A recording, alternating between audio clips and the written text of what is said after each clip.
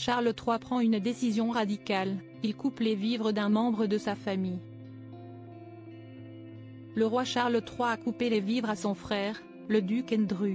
En effet, le roi lui supprime une allocation de 1 million de livres sterling par an, une somme importante. Le duc Andrew a désormais été officiellement coupé financièrement par le roi, marquant un nouveau fossé dans les relations entre les deux frères. D'après le mail, le roi Charles III a ordonné à son trésorier privé, le directeur financier de la monarchie, de supprimer l'allocation annuelle personnelle de son jeune frère, qui est estimée à environ un million de livres par an. Il ne couvrira plus ses frais de sécurité privée, qui s'élèvent à 7 chiffres. Pas facile quand le duc Enedro est obstiné à ne pas lâcher ses privilèges.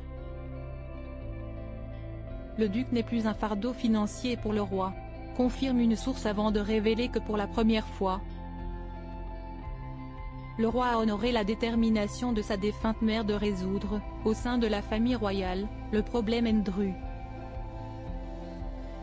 Pour rappel, le duc a été déchu de beaucoup de ses fonctions royales en raison de son association avec le pédophile condamné, Jeffrey Epstein. Sans les vivres du roi, le duc Andrew devrait s'installer à Frogmore Cottage et subvenir seul à ses besoins.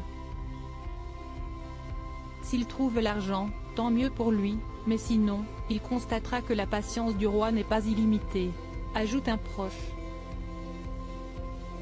Le prince Andrew, duc d'York, arrivé au service funéraire à l'abbaye de Westminster pour les funérailles d'État de la reine Elisabeth II d'Angleterre.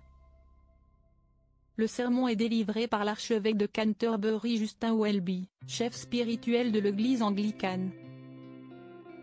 Aux côtés du doyen de Westminster David Doyle, Londres, le 19 septembre 2022 Droit d'auteur Moreau Jacovi de Bestimage.